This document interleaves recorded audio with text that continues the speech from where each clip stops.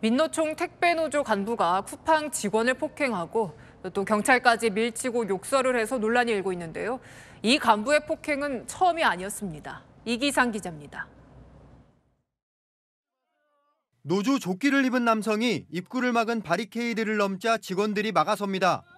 하지만 남성은 목을 조르고 뒤로 넘어뜨립니다. 경찰 도와주세요. 도와주세요.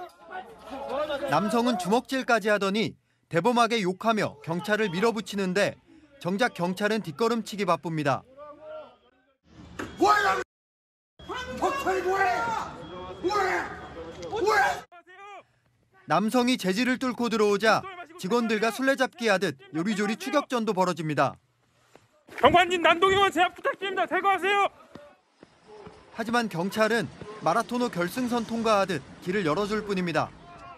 경기도 용인 쿠팡 배송센터에서 쿠팡 택배지회 창립대회가 열렸습니다.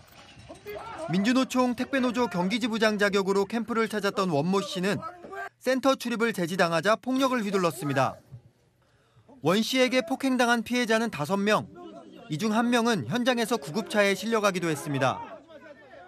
택배노조는 노조법상 산별노조 지부장은 사업장에 들어갈 수 있는데 못 들어가게 해 벌어진 일이라고 해명했습니다. 원 씨는 4년 전에도 비노조원 택배기사를 나라차기로 폭행해 논란이 됐습니다. 경찰은 원 씨를 폭행 혐의로 입건했지만 공무집행 방해 등 혐의는 따로 적용하지 않았습니다. 채널A 뉴스 이기상입니다.